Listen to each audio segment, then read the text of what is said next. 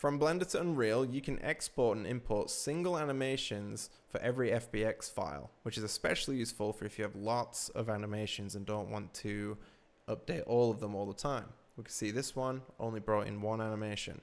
So to do that, let's go to Blender. I have my armature selected, and then I made an animation by being in the dope sheet under the action editor. I made a new animation and then did all the animation and then I hit push down which makes a track with the name of the animation that I named here. Once that's done and I'm ready to export I make sure this is checked and all the others are unchecked these boxes here. Then with this selected I hit file export FBX and then I name it what I need to and my export settings are selected objects armature, uncheck mesh. This is only for single animations. Uh, transform, whatever you want. Geometry doesn't matter because we're not bringing in mesh. Armature, whatever you want.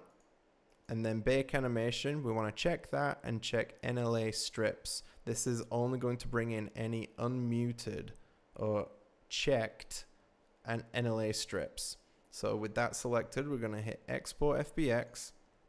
And now let's check drag and drop the file into the content browser. And we need to select the skeleton that this animation is for so that has to be imported beforehand. I'm going to preview it and we can see it's only the running animation. Great. So I hit import and there it is. Looking good